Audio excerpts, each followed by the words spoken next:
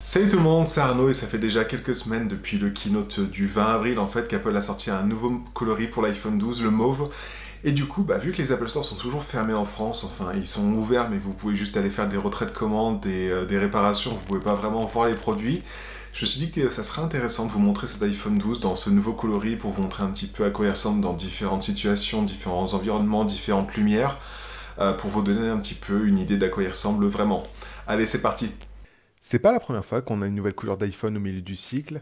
Apple nous avait déjà fait le coup en 2017 et en 2018 en sortant un modèle Product Trade des iPhone 7 et 8. Mais vu que depuis la sortie du 10 on a un modèle rouge dès la sortie, Apple arrive cette année avec ce magnifique mauve. C'est une couleur vraiment super jolie qui va très bien avec le printemps et l'été. Alors on a déjà eu un iPhone mauve récemment, c'était l'iPhone 11 et je l'avais pris à l'époque. Du coup, on va pouvoir comparer euh, les couleurs mauves. Euh, c'était un iPhone beaucoup plus pâle, presque blanc à mon avis, beaucoup moins joli que ce mauve qui est juste sublime sur l'iPhone 12. Alors certes, certaines personnes préféreraient sûrement un iPhone violet très saturé comme le logo de Twitch, on va dire, euh, mais c'est pas le cas ici. Par contre, Apple vous proposera quelques coques à acheter en plus qui, elles, seront vraiment violettes pour compenser ça. Les tranches en aluminium sont juste superbes et ça permet de vraiment voir la couleur ressortir à l'avant avec le fond d'écran assorti et tout. Je trouve ça vraiment très très très sympa. Comme je vous l'ai déjà dit, je préfère vraiment les tranches en alu par rapport à celles en acier inoxydable des modèles Pro. Et là, ça fait vraiment que renforcer ce sentiment. Je préfère euh, vraiment ça sur l'iPhone 12 et encore plus sur ce mauve. Je trouve que c'est vraiment incroyable.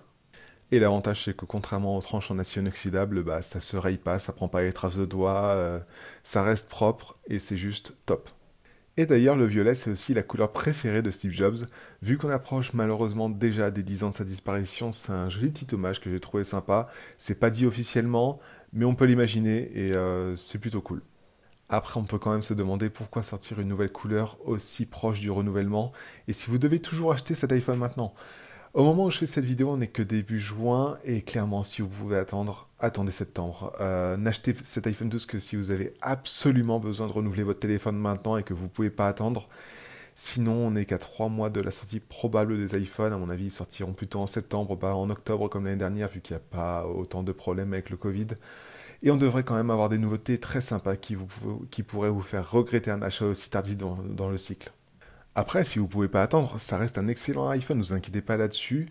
D'ailleurs, une bonne partie de cette vidéo est tournée à l'iPhone 12 et la qualité vidéo est toujours aussi incroyable qu'il y a 8 mois. Euh, parfois, je préfère même filmer avec lui qu'avec mon appareil photo, tellement le rendu est bon et simple d'utilisation. C'est vraiment un pur bonheur. Pareil au niveau de la photo, il reste un des meilleurs smartphones en photo. Euh, vraiment, il est juste top là-dessus. Alors maintenant, pour revenir au niveau de la couleur, si Apple pouvait nous sortir un iPhone Pro en Product Trade, là je serais vraiment heureux.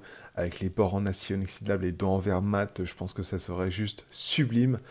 Peut-être l'année prochaine, on sait jamais. Voilà, c'était juste très rapide, hein. c'est littéralement juste une nouvelle couleur. Dites-moi comment vous la trouvez, vous, dans les commentaires. Euh, mais si cette vidéo vous a plu, n'hésitez pas à laisser un petit pouce bleu et à vous abonner, ça aide vraiment à la, chaîne. Il y a plein de nouvelles vidéos qui arrivent avec la WWDC, iOS 15, euh, WatchOS 8, euh, les nouvelles versions de macOS aussi. On espère aussi des nouveaux MacBook Pro, donc clairement, il y a beaucoup de choses à faire. Donc bah, si vous pouvez vous abonner, ça aide vraiment la chaîne. moi, je vous retrouve très bientôt pour une nouvelle vidéo. Prenez soin de vous, prenez soin des autres. Allez, salut